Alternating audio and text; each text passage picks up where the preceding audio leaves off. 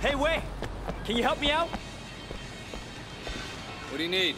A ride, but in a second. okay. I see that. Let's go! Let's go!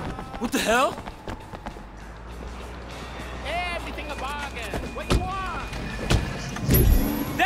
Asshole was sleeping with my girlfriend. You can't just punch a cop. I know.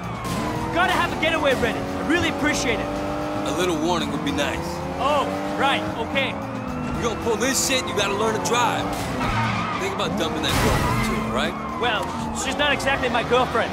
I really like her though. She's got a nice smile. Dresses real nice. You're not even dating her? Not yet, man. Gotta be optimistic though. Is she with that guy? You mean like right now? Come on. We're son on ye. Cops don't got anything on us. What a getaway. Thanks, Wei.